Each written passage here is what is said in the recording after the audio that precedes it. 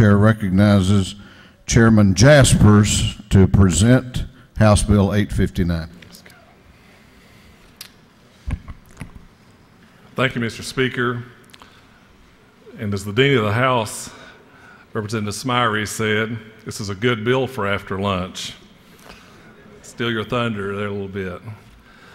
But thank you for letting me present to you today House Bill 859. It's what I like to call the Campus Safety Act. We're here today working to allow Georgians the ability to not be a victim on our college and university campuses.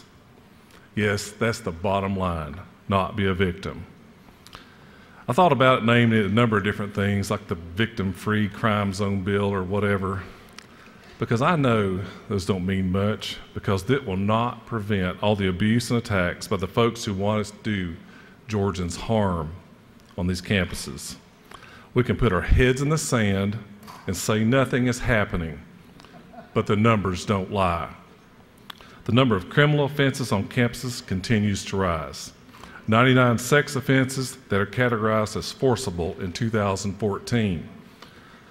A total of 143 violent crimes against Georgians who are attending our schools. In 2010, that number was 77. No matter what, the number is far too many. For your information, that data is from the U.S. Department of Education website on campus safety and security data. What this bill does is allow those Georgians who have a Georgia weapons carry license to be able to defend themselves from a threat if it presents itself. These Georgians are at least 21 years old, have been fingerprinted, had their background searched by the GBI and FBI databases, and a probate judge in the county in which they live has evaluated this information. I always like to say these folks are responsible men and women of Georgia who want to utilize their constitutional right to defend themselves. They can now carry in grocery stores, church, some churches, big box stores, our parks, buses, and government buildings all around us every day. You don't hear about these Georgians being dangerous people. It just doesn't happen. The current Georgia law allows for the keeping of a weapon in one's car at a public college or university.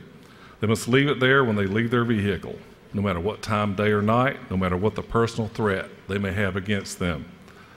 The penalty for carrying a weapon today on a campus is if you have a Georgia weapons carry license, it's a misdemeanor, and a felony if you don't. This bill does not change that. Yeah, it does, excuse me. On the felony, it doesn't. And while I'm saying it, it's a real world solution to a real world problem. I wish, as everyone in here does, that the women and men who attend these schools and walk among all of us didn't have to do this, but in today's world, it's a must. It's our constitutional right, and we need to dis- restore it. When you look at the bill, you'll see it's pretty simple. We are in the school safety part of the code in the prohibited spaces. Starting on line 15, we won't allow those with a Georgia weapons carry license to carry in the school safety zone in a public college or university Line 19, the places that are not allowed, the fraternity and sorority houses at a campus, dormitories, and athletic sporting events. Line 23 only applies the carrying of it only applies the carrying of handguns that are concealed. This is a change from the past. We're proposing concealed only, and you see the language. Starting on line 27, it's a term that defines what concealment is and what it's not, flashing, etc., so that's not an issue. Mr. Speaker, I want to continue my pres- presentation by answering a few questions that's been out there in the committee meetings and, and on TV. And one of them was, well, the, the bill doesn't allow guns in dorms or sporting events, so gun storage facilities would have to be constructed so that guns could be properly stored when students go back to their dorms or other places where guns can't be carried. There's no basis for a college to assume the responsibility for storing a weapon. Other off limits places, like our courthouses, inside the security zone of Hartsfield Airport, do not provide storage facilities for Georgia weapons carry license holders. When I take the responsibility of my safety, I have to also take the responsibility to carry where I can and store it when I have to. College students will have to do like the rest of us and secure their firearm elsewhere. I'd like to continue along that line. Projected additional expenses will be increased to security since campus security would have to prepare for a scenario that many or all students over 21 would be carrying. Well, only the students with the Georgia weapons license will be legal to carry a handgun on a campus. It's estimated that roughly 10% of the population of Georgia over 21 has one of these licenses. That's 750,000 people. Only about half the people I know carry a, a weapon all the time. The other half carry it when they want to, sometimes. We always remember that these folks have been fingerprinted, vetted by the Georgia GBI and FBI. They currently carry their firearms in almost all areas of the state without incident. So, why would a college suddenly need to add security? These people don't suddenly become dangerous when they step onto a campus. If I was a student and a taxpayer, as we are, I would be insulted if more security was hired to protect me from law abiding Georgians instead of hiring more security to protect them from robbers and rapists. The Georgia weapons license holders are statistically the most law abiding citizens in our state. And I think it's bordering on offensive to suggest that they will conduct themselves any less thoughtfully or lawfully the moment they set foot in a university building. When we look at Colorado, since they enacted campus safety back in 2002, they've only had one incident by an employee in 15 years. Mr. Speaker, that's what I have to say, and I'll be glad to answer any questions that the members may have. You have some questions. Do you care to yield? Yes, sir, I do. Chair recognizes the minority leader of the House to your left for a question. Thank you, Mr. Speaker. Does the gentleman yield? Yes, ma'am. Um, I'd like to first draw your attention to line 15 of your bill. Uh, the language reads that any license holder, when he or she is in any building on real property. Um, you, rec- you a moment ago spoke to the fact that only 170,000 students would be entitled to carry. Can you show me in this language where the ability to carry on a college campus would be limited to students? It would not be. It says anyone who's a Georgia weapons license. I didn't So- say anything about 170,000 people either. Actually, you did in. Ref- uh, I said there are 750,000 Georgians who currently have this license. Sir, did you not, in response or in anticipation of a question regarding the need for providing safety on campus and a place to secure the weapons, make reference to a number of the number of students who would be eligible to carry a weapon on Georgia's campus? I believe the number you used was 170,000 students in the state of Georgia. I said roughly 10% of the population over 21 has a Georgia weapons license. And I said that's about 750,000 people. Only about half the people I know have a Georgia weapons carry license who carry all the time, and half So- don't.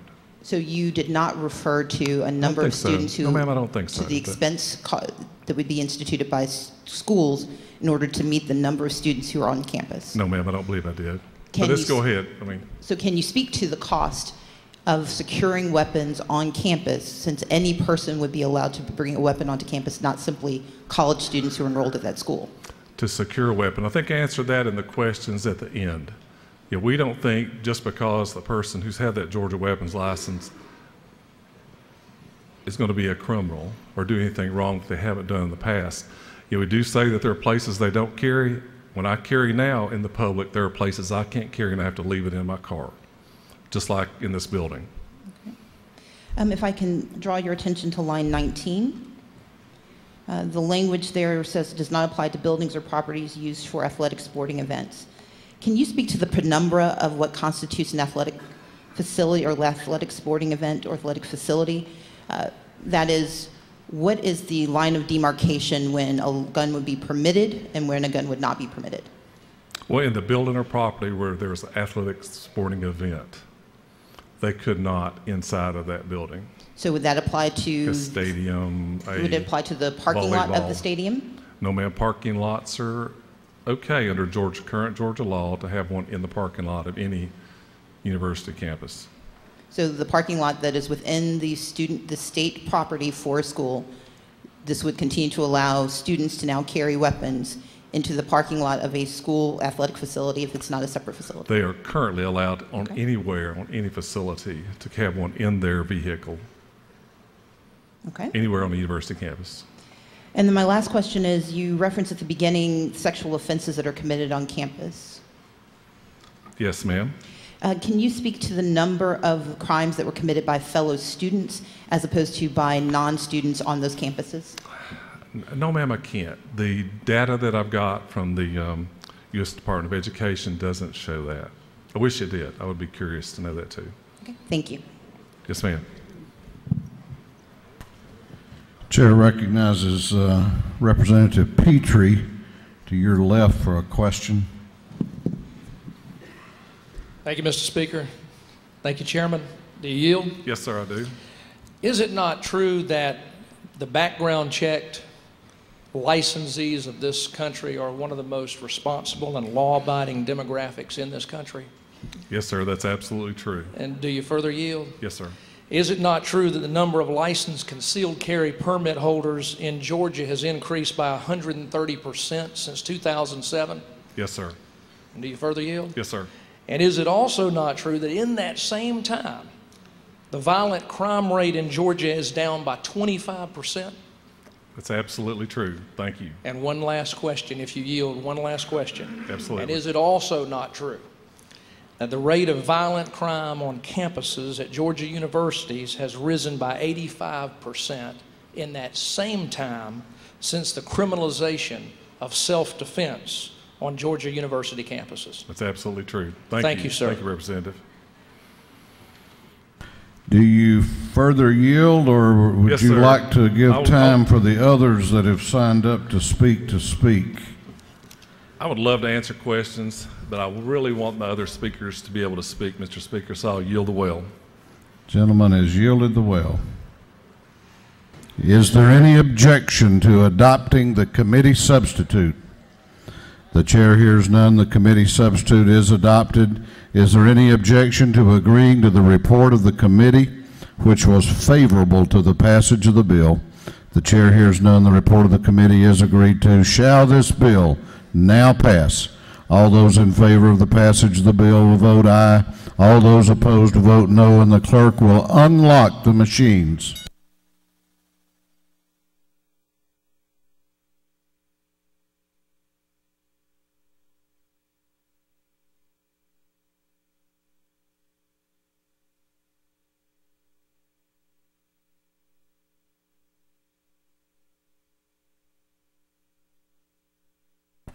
Have all members voted? Have all members voted? If so, the clerk will lock the machine on the passage of House Bill 859. The ayes are 113, the nays are 59.